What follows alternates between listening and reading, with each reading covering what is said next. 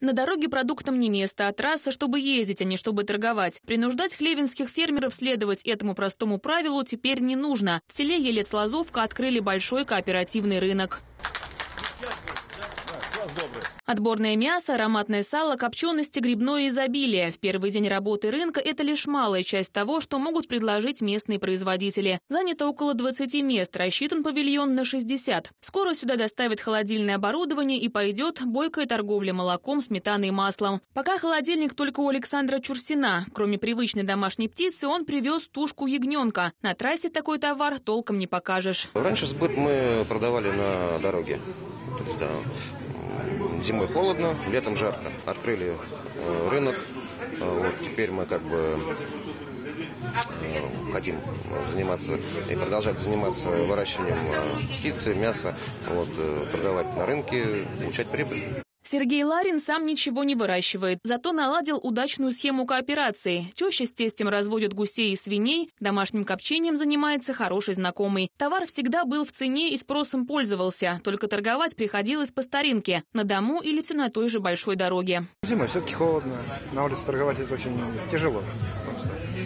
Я, сам инвалид, уже 10 лет по инвалидности, и моему здоровью не то уже стоять на улице. Конечно, ждали открытия этого рынка. Ну так, в принципе, все хорошо. Сейчас проверим, тут все пройдет. В селе события и местные жители тут как тут. От чего прилавки ломятся, посмотрел и начальник регионального управления потребрынка Николай Киреев. Проверил соотношение цены и качества и дал пару советов. Вы должны привлечь покупателя для начала и цену сбить таким образом, чтобы покупатель сюда пришел. А если он увидит, если он увидит, что здесь э, продукция стоит 12 рублей, значит и в Липецке около Ашада стоит 12 рублей, он у вас покупать не будет. Он приезжает к Ашану и берет там эту продукцию по 12 рублей. Все. У нас по 12 на расхват.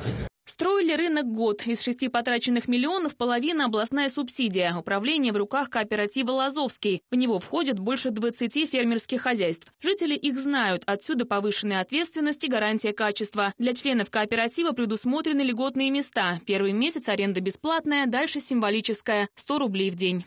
Фермер, он знает, куда свою продукцию э, э, реализовать. Значит, сельхозпроизводитель большого уровня он тоже знает. А именно население, выращенное, э, которое выращивает свою продукцию в личном подсобном хозяйстве, ему реализовать сегодня негде. На трассе, извините, пожалуйста, это стихийная торговля. Поэтому мы и вынуждены и будем создавать вот такие мини-рынки. Рынки на местах все дают возможность всем людям как-то больше объединяться, производя продукцию, в данном случае сельскохозяйственного производства. Один занимается, вот если каждый сам по себе, представьте себе, вырастил, и что с ней делать? Где взять птицу, где взять корма, куда реализовать, что дальше с ней делать. А здесь получается все сообща. Таких кооперативов, которые сегодня э, живут, не на бумаге просто существуют, а работают очень активно. Их 14 таких кооперативов.